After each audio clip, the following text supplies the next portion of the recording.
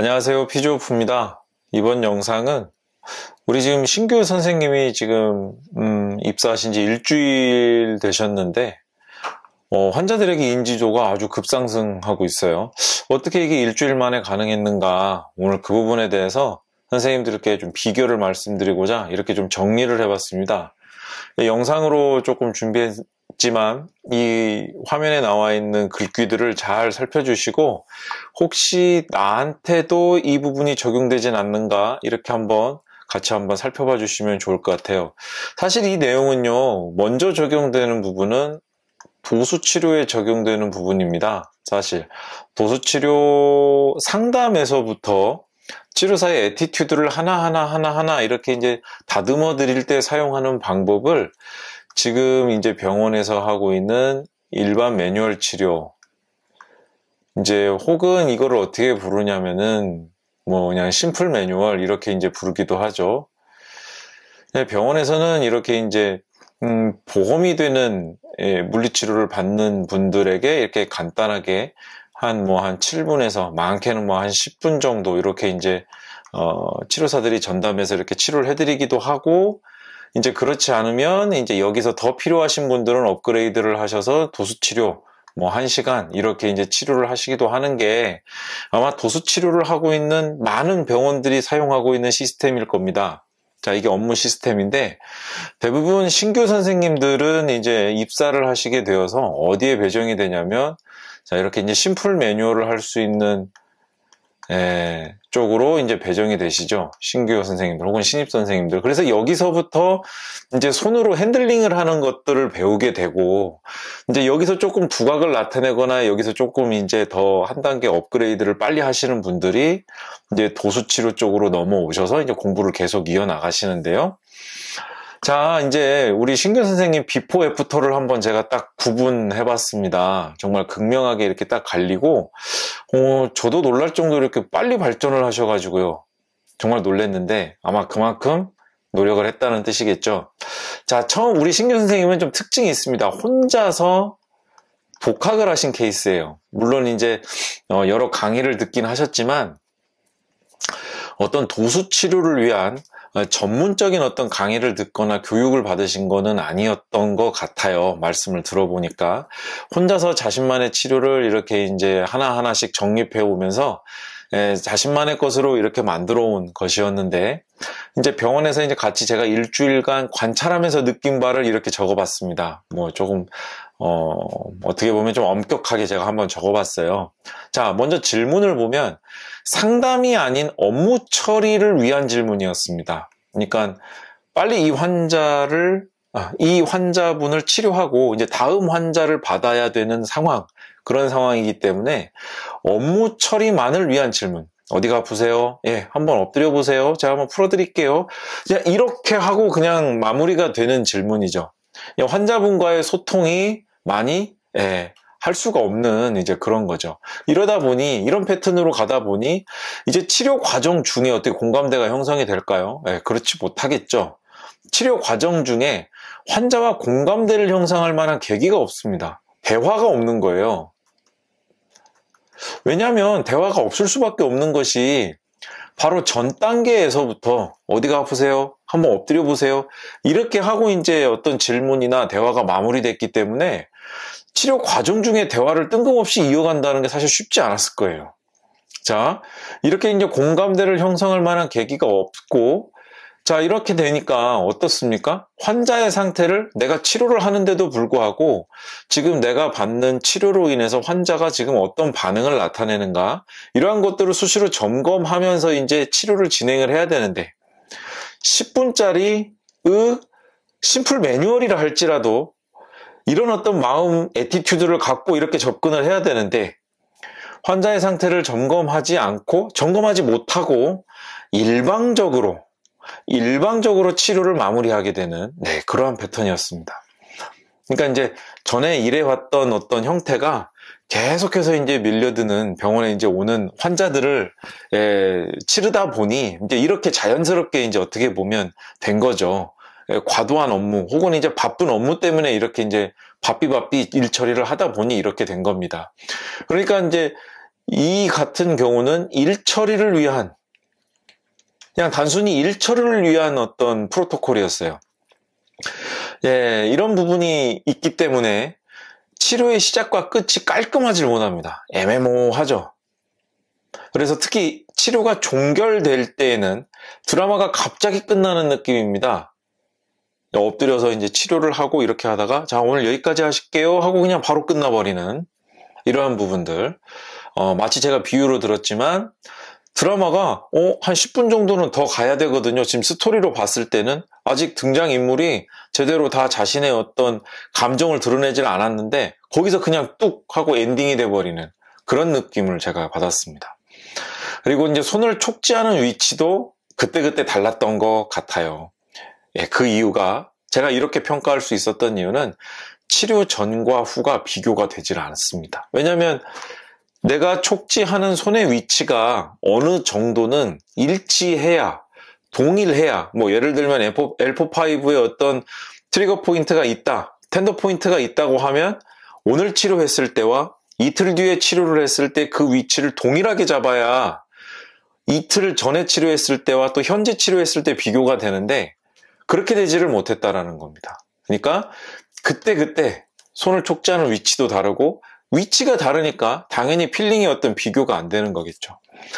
또 치료를 할 때에도 왜 body weight를 잘 활용하지 못하시는 것 같았어요. 대부분 이제 손가락 힘 위주로 사용했기 때문에 어, 내 어떤 그 이를테면 예를 들면 마사지의 느낌이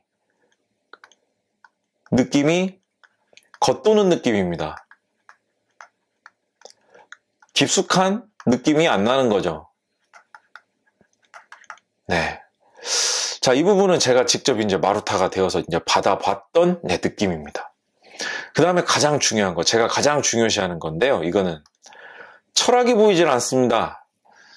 그냥 일을 일로써 끝내니까 이 치료사만의 우리 신규 선생님만의 철학이 보이질 않아요. 물론 지금 연차나 나이가 사실 많은 게 아닙니다. 아직도 20대시고 이제 저는 40대고 나이 차이가 좀 많이 나긴 하는데 사실 저는 나이가 어리고 적고를 떠나서 나이가 어린 사람도 이 환자를 위해서 고민하고 정말 최선을 다한다면 그 자체로서 철학이 발생한다고 저는 믿고 있거든요.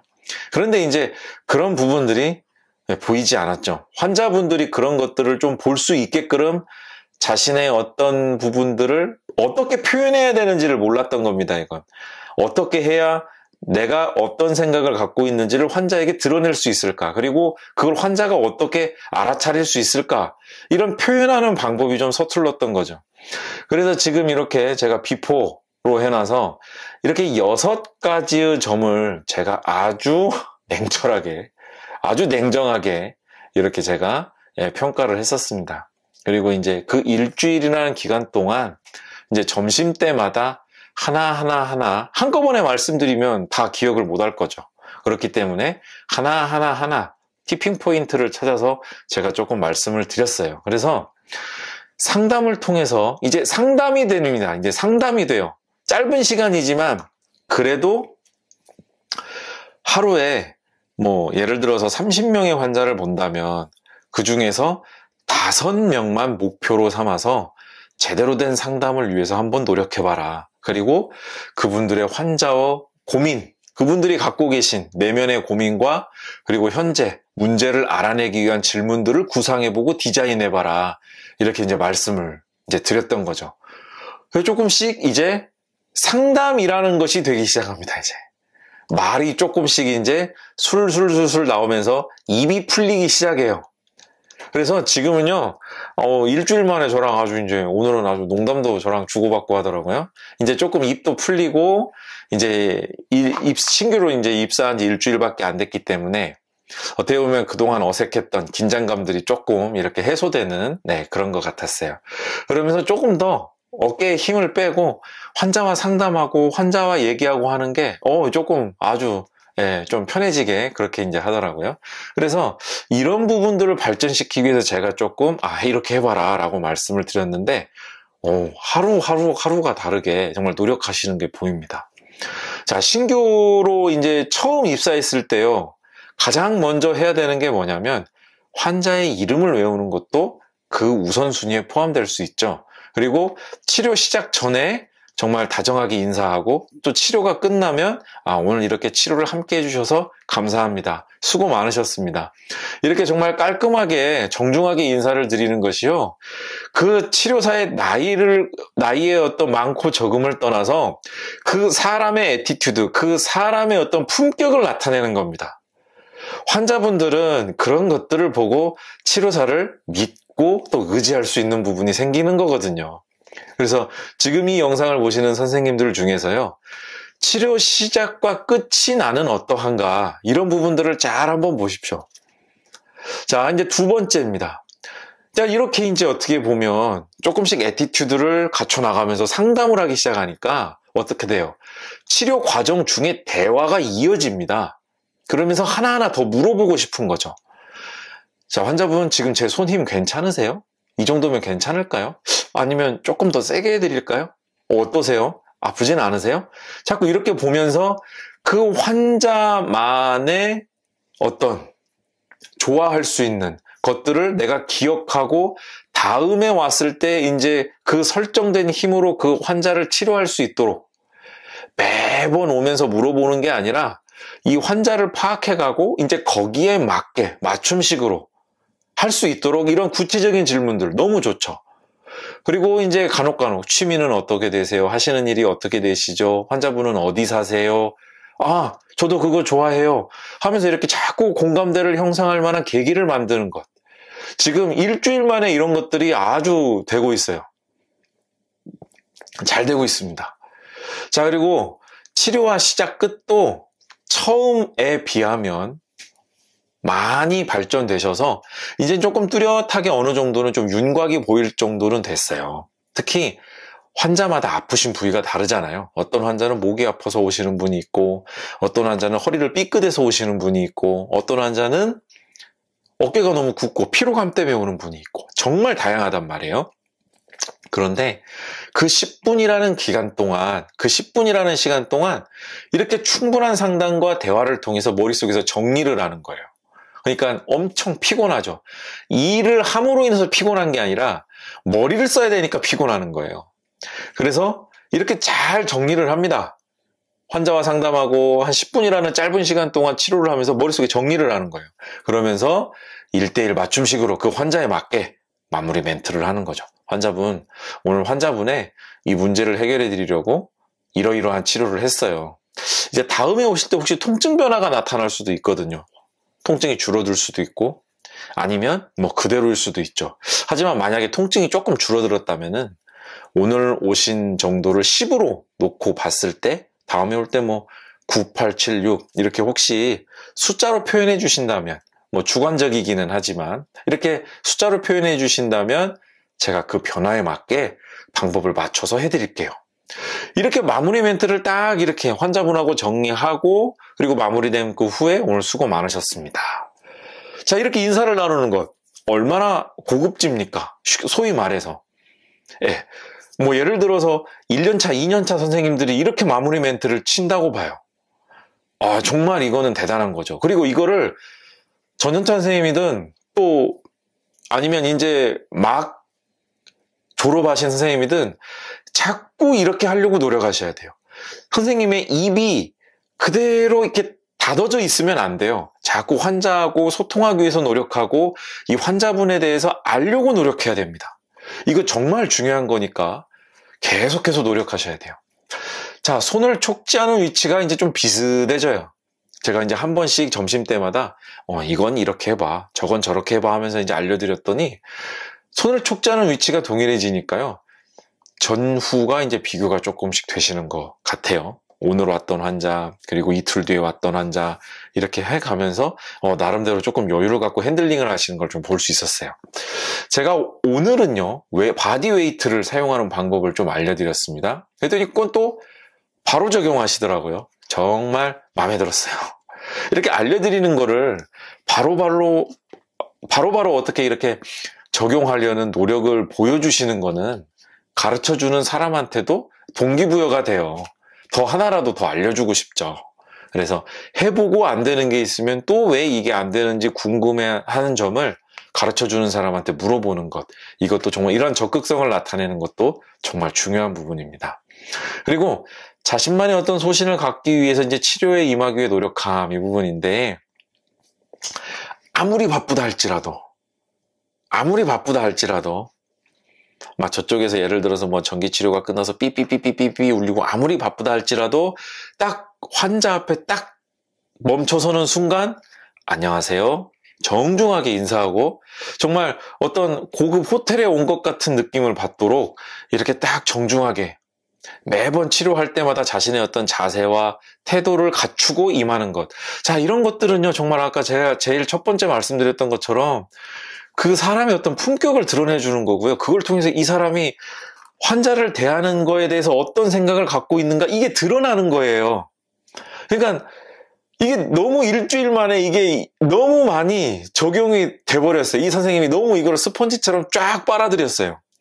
너무 기분이 좋더라고요. 그래서 심지어 어떤 일들이 이제 발생을 했냐면, 이틀 전에 받았던 어떤 여성 환자분이 오늘 이틀 후에 자기 남편을 데려오고, 혹은 하루 전날 치료받았던 어떤 아주머니가 그 다음날 자기 지인을 데려오고, 이런 일들이 일주일 만에 계속 벌어지기 시작하는 거예요. 정말 쉬운 게 아니거든요. 신규 선생님이 일주일 만에 이렇게 하기란 정말 쉽지 않아요. 왜냐하면 새로운 환경에 적응하고 새로운 직원들과 친해지려고 노력하고 하는 것도 쉽지가 않을 텐데 이렇게 그동안 자신이 여러 해 동안 이렇게 해왔던 어떤 패턴들을 이렇게 바꾸는 것도 정말 어렵거든요. 이 선생님 지금 4년 차예요, 올해. 4년 차면 그래도 비교적 사실 연차가 많다고 볼 수는 없거든요. 그 중에 3년은 재활 파트에만 계셨던 분이에요. 실제로 금골교계에 온 지는 1년이 좀 넘은 거죠. 그런데 이렇게 그동안 1년 좀 넘게 자신이 어떤 공부해오면서 나름대로 해왔던 그리고 이런 습관들을 이렇게 제가 알려주는 대로 고쳤다라는 건 정말 어떻게 보면 감사할 일이고 예, 저로서도 참 고마운 일인 것 같아요. 이렇게 비포 애프터가 극명히 드러나면서요. 진짜 병원 내에서도 환자 인지도가 높아지니까 어, 저희 원장님은 표정이 조금 약간 무뚝뚝한 편이시긴 한데 잘 웃긴 하시지만 안 웃으시면 되게 무뚝뚝하신데 일주일 만에 정말 만족하는 예, 환자도 늘어나고요. 와 이래서 우리 지금 입사하신 신규 선생님은 아직 도수치료 쪽으로 가시진 않았지만 정말 기대해 볼 만합니다. 자, 근데 제가 하나 더 추가적으로 말씀드리고 싶은 건 이 여섯 번째인데요. 여섯 번째. 자신만의 소신을 갖는 게 왜 중요할까요? 이게 정말 중요해요. 이게 어떻게 보면 매뉴얼 치료의 방법을 아는 것만큼 매뉴얼 치료의 방법을 아는 것만큼 중요합니다. 왜 그러냐면요. 사실 매뉴얼 치료의 어떤 방법이라는 건 뭐예요? 본질이 아닙니다. 이건 수단이에요. 그럼 본질은 뭐냐? 본질은 사람이죠. 우리가 어떤 환자분이 오셨을 때 그 환자분이 아프다, 통증이라는 것, 느낌을 호소를 하면서 낫기 위해서 병원에 오는 거고, 우리는 그 환자를 이해하기 위해서 공부를 하는 거죠. 그런 공부 중에 환자를 치료해 가면서 그 통증이 어떻게 변화되는가. 실제로 이 방법을 통해서 이 환자가 나에게 얼마나 신뢰감을 더 갖는가 하는 수단인 겁니다. 본질적인 게 아니에요. 그럼 본질은 아까 방금 말씀드린 것처럼 본질은 사람에게 있는 거죠. 사람을 이해해야 되는 겁니다. 매뉴얼의 근본은 아 매뉴얼을 치료를 하는 가장 밑바탕이 되는 근본이라고 해야 더 정확한 표현이겠어요. 여러분 매뉴얼 치료 공부하려면 뭐부터 해야 돼요? 라고 물어보시면 가장 제일 많이 듣는 질문이 선생님 어떤 책 봐야 돼요? 이 질문을 가장 많이 받아요. 근데 그게 아니라 가장 본질은 이 환자에게 내가 접근하기 위해서 무엇이 필요한가라는 것을 고민해야 되는 게 사실 도수치료의 가장 기본이 되는 질문입니다. 그러면 무엇부터 출발해야 되냐면 나는 환자에게 무엇을 줄 수 있는가라는 질문을 계속 여러분 스스로에게 해봐야 되는 거예요. 1년차 선생님이면 환자분에게 뭘 주실 수 있어요? 내가 경력이 1년밖에 안 되는데 환자분에게 뭘 주실 수 있어요? 한번 고민해 보세요. 그리고 5년차 되는 선생님이라면 환자분에게 뭘 주실 수 있어요? 한번 고민해 보세요. 그리고 한번 목록으로 적어 보세요. 자, 바로 그것들이 결국 뭐냐면 환자가 나에게 와야 되는 이유가 되는 거예요. 이 환자가 여러분에게 왜 와야 되는 거죠? 이 영상을 보시고 계신 우리 피조프를 사랑하는 구독자 선생님들, 환자가 여러분에게 왜 와야 될까요? 만약에 와야 된다면 그 이유는 뭘까요? 여러분의 무엇 때문에 환자가 오는 걸까요? 이게 불분명하면 여러분들은 평생 환자를 설득할 수밖에 없습니다. 이게 불분명하면. 근데 이게 뚜렷하면 여러분은 환자분에게 간결한 설명만으로도 그분들을 감동시킬 수 있습니다. 왜요? 말이 아니라 여러분들의 attitude를 통해서 여러분들의 치료하는 방식을 통해서 여러분들이 이 환자분의 마음을 공감해 주려는 노력을 통해서 이미 환자분들은 아, 이 선생님 정말 믿을만 하구나 라는 점을 느낄 수 있기 때문이죠. 그렇기 때문에 말이 많이 필요가 없게 되는 겁니다. 자, 우리 신규 선생님이 지금 정말 아, 놀라운 변화를 일주일 만에 가져오셔서 제가 오늘 여러분들에게 이 내용을 좀 같이 공유하면 좋겠다라는 마음으로 이 영상을 만들었습니다. 특히 지금 슬라이드에서 보시는 자신만의 소신을 갖고 치료에 임하기 위해서 노력하는 이 자세가 우리가 천마디의 말보다 이러한 노력하는 자세를 기울이는 게 더 훨씬 강력하다는 걸 꼭 잊지 마시기 바래요. 그리고 다시 한번 말씀드리지만 환자가 왜 나에게 와야 되는가? 그리고 환자가 나에게 왔다면 그 이유가 뭘까? 여러분들이 분명히 알고 계셔야 돼요. 그 이유를 모르면 여러분이 뭘 잘하고 뭘 못하는지를 여러분 스스로 지금 현재 모르고 계신다는 얘기입니다. 자, 그러니까 이 영상을 통해서 나 자신, 뭐 전연차 선생님들이든 아니면 또 연차가 많으신 선생님들이든 한번 스스로요, 저도 되돌아보게 되더라고요. 이런 아주 기분 좋은 경험을 하면서 저도 저 자신을 되돌아보게 됐습니다. 그러니까 우리 각자가 경험력이 어떠하든 또 경험이 어떠하든 현재 내가 어떤 치료를 하던 간에 뭐 10분 심플 매뉴얼이 되었던 아니면 도수 치료가 되었던 어떤 걸 하던 간에 지금 현재 내가 치료사로서 어떤 품격을 갖고 나가고 있고 내가 환자를 어떻게 대하는지 이런 점들을 다시 한번 되돌아보는 계기가 되셨으면 좋겠습니다. 네, 지금까지 시청해주신 모든 분들 감사드리고요. 행복한 하루 되시기를 바라겠습니다. 감사합니다.